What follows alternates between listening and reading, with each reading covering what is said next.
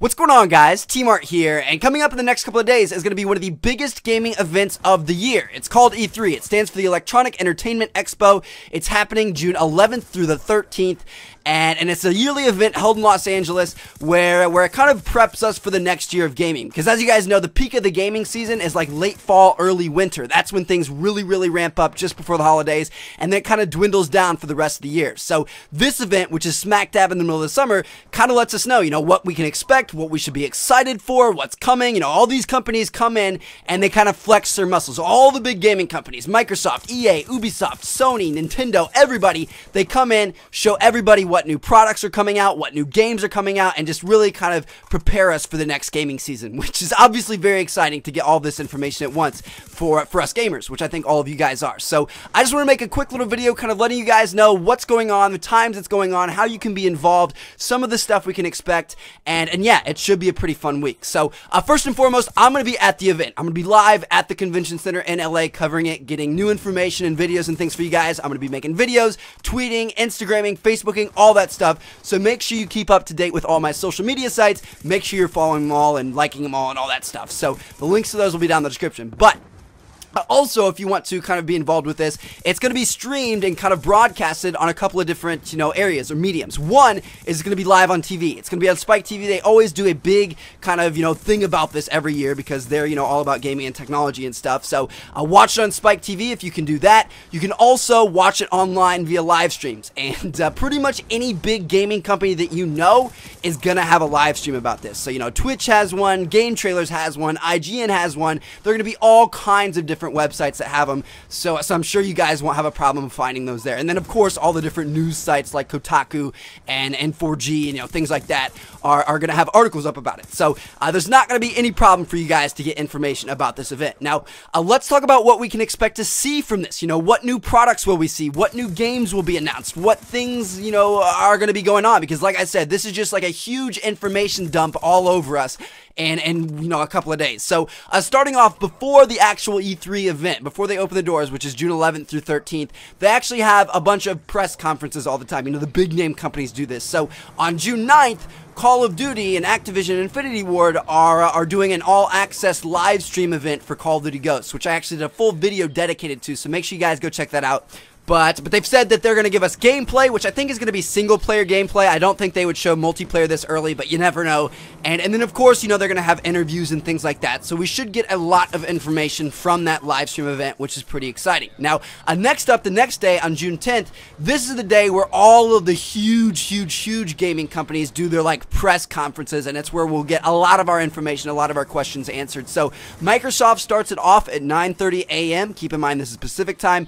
EA follows up up at 1 o'clock. Ubisoft goes at 3, Sony goes at 6, and then surprisingly, Nintendo is actually not going to have one. Usually they have one of the biggest press conferences, but but they won't have this one this year. So, uh, yeah, those are some of the main, you know, companies that are doing them, you know, around that time, you know, 9:30, 1, 3, and 6. Those are the times that we can expect to get a lot of information out of these companies of, you know, what their plans are for the next year and and what we could see in terms of new products, new games, new features, things like that. Now, Let's uh, let's get more into specifics. You know, what exactly can we expect?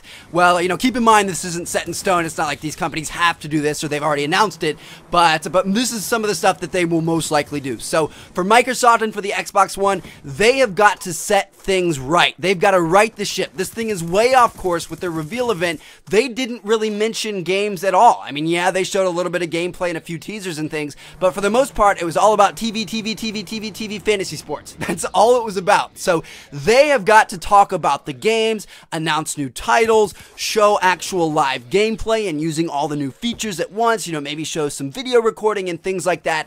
So so yeah, I think they're going to be, you know, a lot more game heavy at E3 because they've realized that they've messed up with their reveal event. They didn't do enough about the games because it is a gaming console. Now, uh, I know uh, additionally to that, I think they need to answer some unanswered questions. I think they're going to let us know exactly what the always online DRM thing is, you know, exactly what we can expect. Is exactly how it's going to affect us.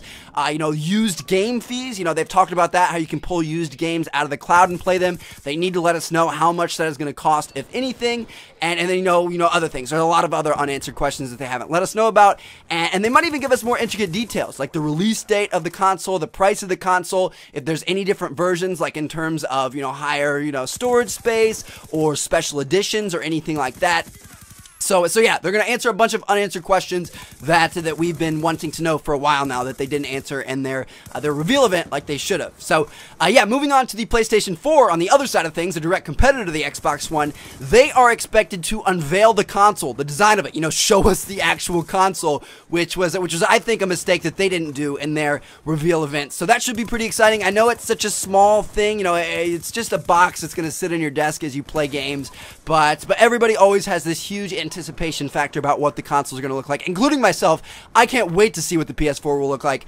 But but yeah, we should be able to see the PS4. They're going to be all about the games, you know, almost to a point of spitting in Microsoft's face, you know, being like, "Hey, we're the actual gaming console now. You're just a TV DVR or whatever." So uh, so yeah, they're going to continue showing us games, doing gameplay, more titles announced, you know, maybe showing new features, kind of like I expect Microsoft to do things like that. So uh, yeah, that's going to be the PS4, and then also uh, they also might announce new information about the PlayStation Vita. So that's, you know, their little handheld console thing that, that really isn't selling too well. It's doing well in Japan and overseas and things like that, but in the US, it's not doing that great. And I think they're going to drop the price and make it more of like a PS4 accessory. You know, it is still going to be a Vita, but they're going to kind of, you know, make it look like a PS4 accessory that you can use to, you know, uh, you know, play when you're away from the console, kind of like you can the Wii U and things like that. So they should give us some information about the Vita, which which I know some of you guys might be interested in.